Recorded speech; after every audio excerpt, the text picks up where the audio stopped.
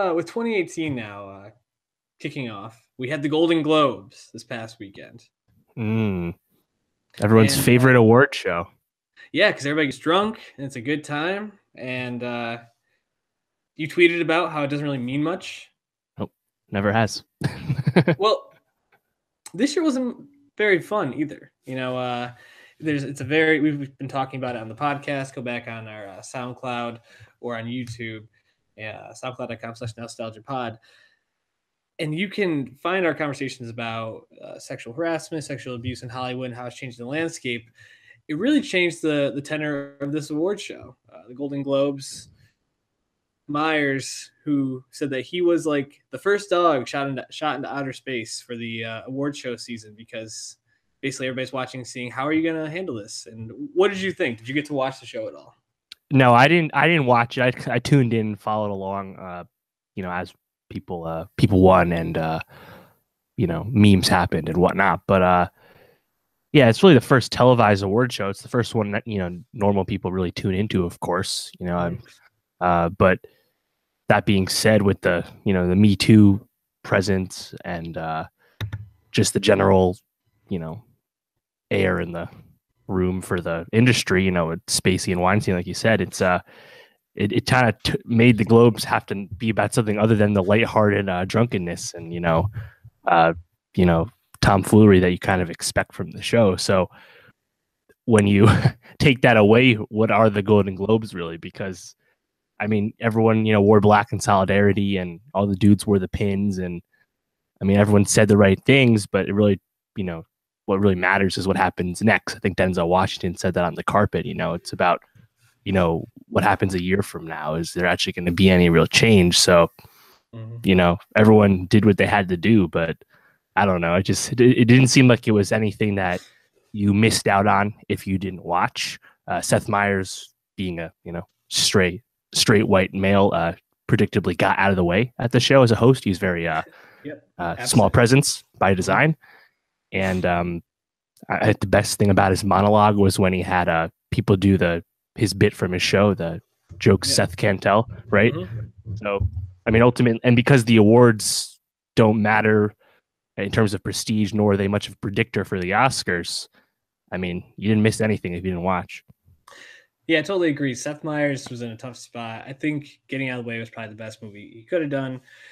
And the the speeches took up most of the night. You know, Oprah's speech is being lauded um, and dissected today, and it was, it was a good speech for sure. Um, but overall, just the presence of the Golden Globes and the the the tenor of the night was different, and that's the way it's going to be. I think for the foreseeable future until kind of the dust settles on this. Uh, you know, like Oprah said, there's like a new dawn uh, on the horizon. So uh, definitely going to be changing uh, over the next year or two.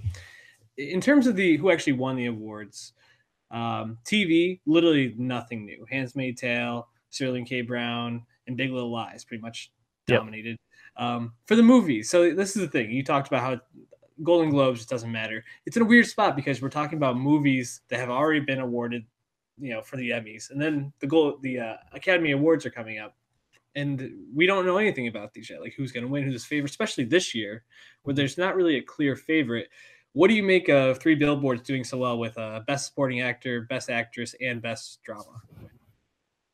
Yeah, it, it, I kind of alluded to this uh, last week when we did our best movies uh, pod, which check that out, SoundCloud.com slash Nowstalgia pod. Uh, but I was kind of have I have reservations about Three Billboards as a uh, best picture contender and uh, awards season force. So I was kind of unnerved just because I don't want it to win compared to the other films. But again, I have to remind myself it doesn't matter, it doesn't necessarily mean anything, yada yada.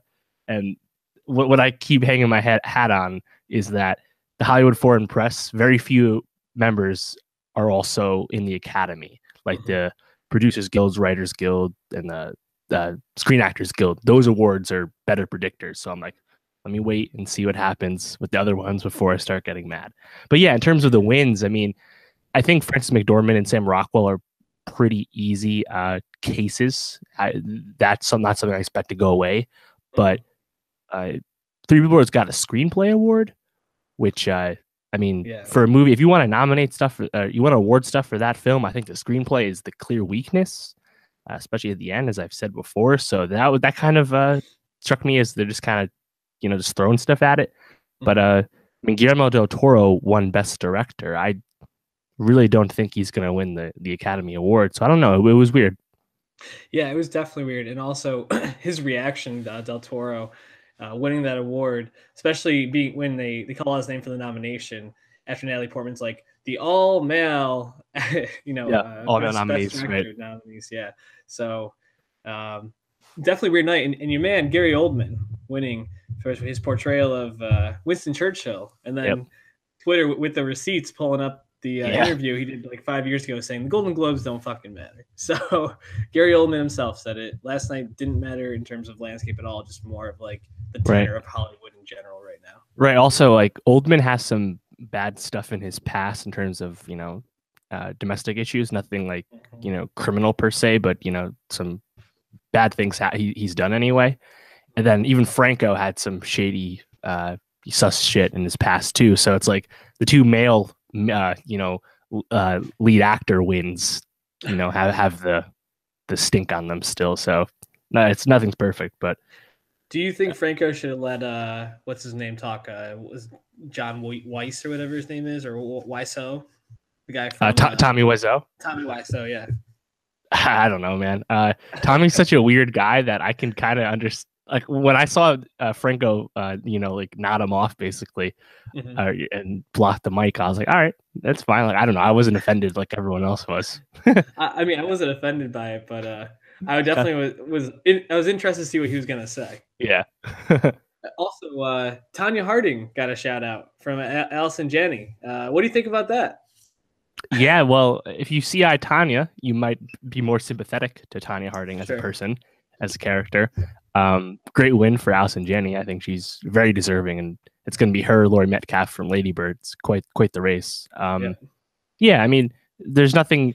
I mean, the TV side, like you said, they're either playing catch up with like This Is Us and The Handmaid's Tale, or because of you know when the Golden Globes take place, they're getting their the first look at shows that were past the Emmy cutoff, and you can see that with the marvelous Mrs. Maisel, which won twice. Yep. Um, so they you know that is they're the Hollywood Foreign Press is you know, jumping out of their seats to award somebody first, and that's basically what happened there. Right. But uh, from what we know, it's still uh, well deserved. I would like to watch that show at some point.